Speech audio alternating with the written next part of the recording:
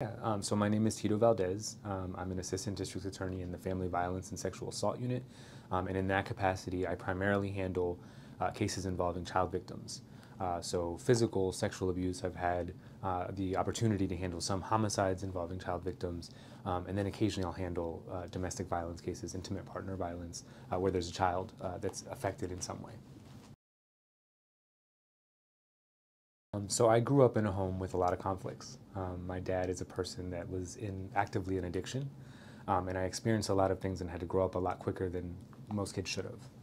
Um, um, I'm also a survivor myself of childhood sexual abuse, and so from the very beginning, I knew that I wanted to do something in some capacity to advance child protection. Um, and so uh, I went to law school with that in mind. I came here, like I said, in May of 2021. Um, and for the first six months, I was in the juvenile unit. Um, so I was in juvenile for about six months, and I primarily staffed courtroom 5F, which is a courtroom dedicated to preliminary hearings uh, involving child victims and witnesses.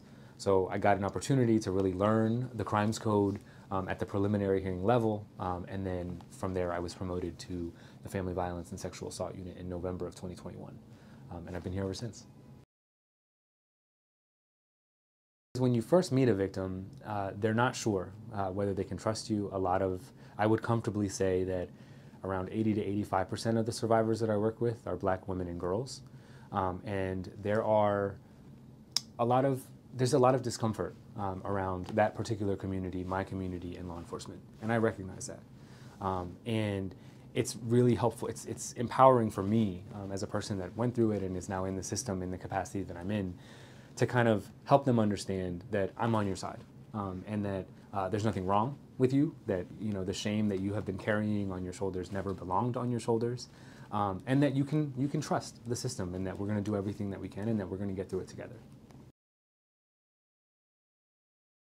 Um, I've had the opportunity to handle cases involving just child neglect, um, and in examining the case, I realized that the issue isn't a, a parent that doesn't care about their children, but it's a parent who is poor. Um, and I'm just a, a, staunch advocate for not criminalizing poverty. I recognize that um, giving a person a felony conviction because they had to go to work and maybe made the inappropriate decision to leave a child in a home because of their circumstances. You know, if you look at my wall, I have a bunch of paintings and, and drawings that I've uh, accumulated over the years, and they're all by survivors that I've worked with um, at the conclusion of their cases or during a prep session. Um, and I, and I think about them. Um, and I think that finding justice for them and knowing that their abuser is removed from society um, while also focusing on their rehabilitative needs is a win.